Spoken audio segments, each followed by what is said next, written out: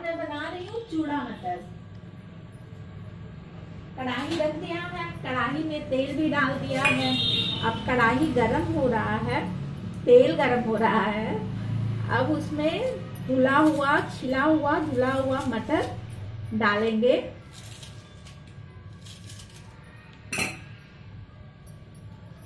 ये मैंने मटर डाल दिया है।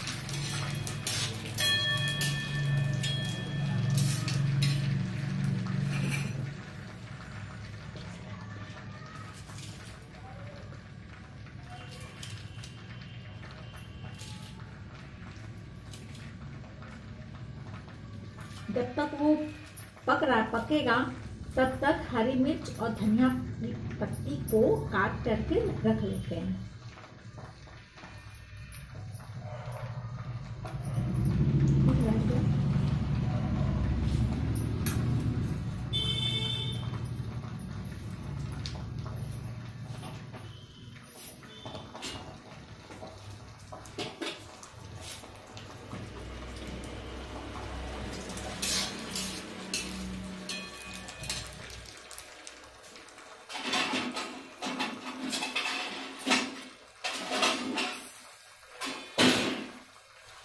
इसको थोड़ा सा ढक देते हैं, पकने के लिए। अब इसकी मसाले की तैयारी कर देते हैं।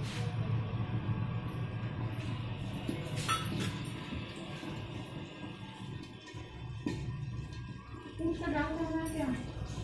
मसाला।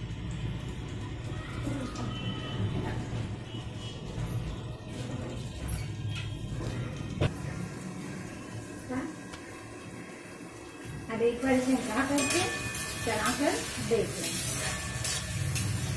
फिर इसे ढक दें अब इसे खोल कर देख लें।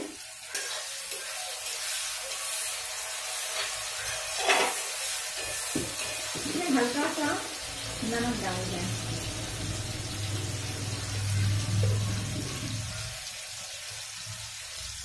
Thank you. इसे चला दें। फिर इसे थोड़ी देर के लिए ढक दें ताकि मटर अच्छे से पक जाए।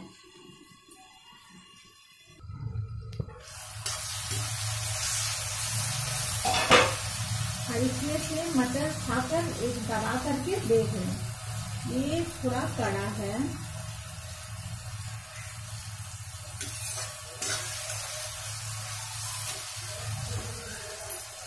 हल्के थोड़ी देर के लिए सीखने ढक दें आप चला देखें अब इसमें हरी मिर्च डाल दें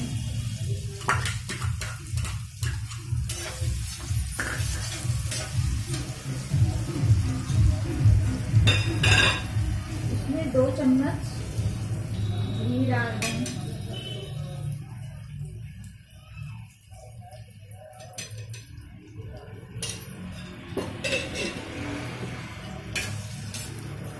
थोड़ा सा चलाएँ। मिक्स कर दें। और इसमें जो मसाला है, वो मसाला डाल दें। साथ में नमक भी डाल दें। अब इसे चलाएँ। इसे ज़्यादा देर तक भूनना नहीं है। मसाला डालने के बाद दस चलाकर दो बार चलाएँ। फिर उसके बाद इसमें चूड़ा भिगो कर रखा हुआ था। रख लिया था मैंने। वो इसमें डाल दें।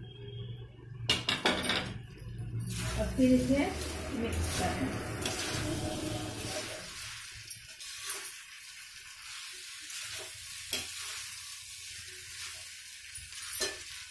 इसमें धनिया पत्ती डाल दें। अब इसे मिक्स करें।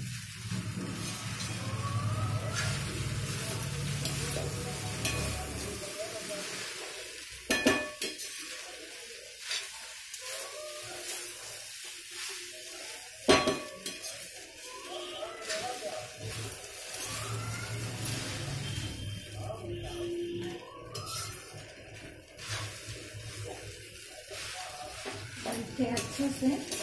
मिक्स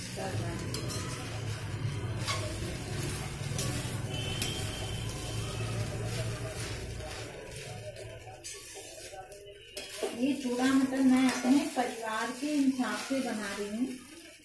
आप अपने परिवार के हिसाब से कम या ज़्यादा चूड़े की मात्रा कर सकते हैं। एक कटोरी मटर में मैंने ढाई कटोरी चूड़ा लिया था।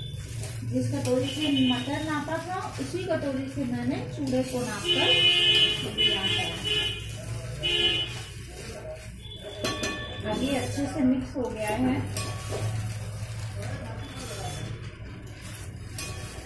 उसे अच्छी तरह से बिल्कुल मिक्स करें।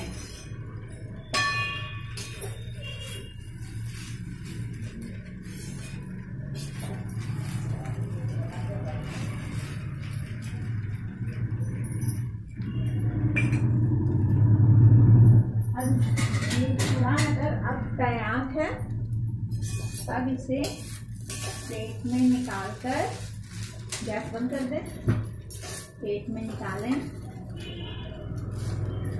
और इसके ऊपर से अगर आपके पास भुजिया नमकीन है, सेव भुजिया नमकीन है तो ऊपर से डाल कर और इसे सर्व करें। और टेस्टी यम्मी चूड़ा मटर तैयार